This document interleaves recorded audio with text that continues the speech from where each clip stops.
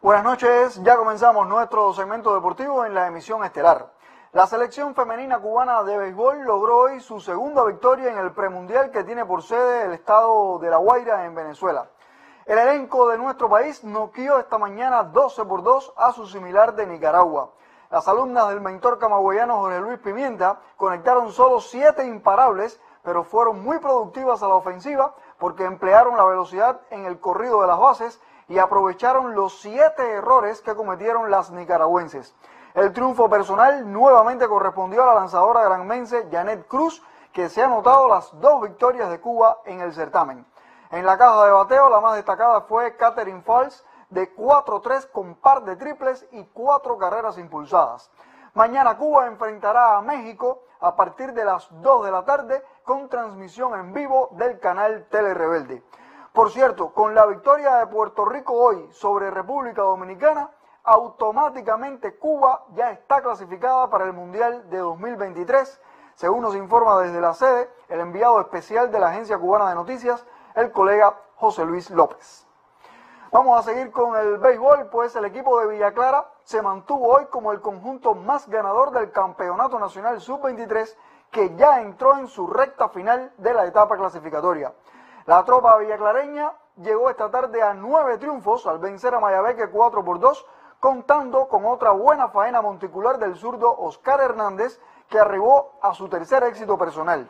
Por su parte, Matanza superó a Cienfuegos 1 por 0 en un choque que decidió Andris Pérez con fly de sacrificio en el mismo primer inning. Mientras, Pinar del Río le ganó a Artemisa 5 por 1. Por cierto, los artemiseños cometieron hoy cuatro errores y ya van por 30 pifias en el campeonato, por mucho los peores del torneo a la defensa. Las Tunas aventajó a Ciego de Ávila 3 por 2. Santiago venció a Holguín una carrera por cero. Guantánamo y Granma no pudieron jugar por dificultades en la transportación. Por esa misma causa tampoco se enfrentaron Camagüey y Santi Espíritus y debido a la lluvia suspendieron La Habana y la isla. Cambiando de tema, mañana comenzará en República Dominicana el Campeonato Panamericano Abierto de Pentatlón Moderno que se extenderá hasta el próximo 22 de agosto. Cuba estará presente en el certamen con siete atletas, liderados por su capitán Juan Pablo Vázquez, junto al olímpico Lester Ders, así como Marcos Antonio Rojas, Sunel Lescano, Delmis Pérez, Diana Leiva y Melissa Garlobo. Según publica HIT, el primer evento será la esgrima individual para ambos sexos en la jornada de mañana. El jueves será el día de la equitación y la natación.